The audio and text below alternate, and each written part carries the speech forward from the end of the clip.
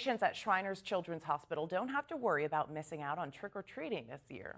Tonight, Shriners Children's Erie and Spirit Halloween stores partner to host a spectacular night for patients and their families.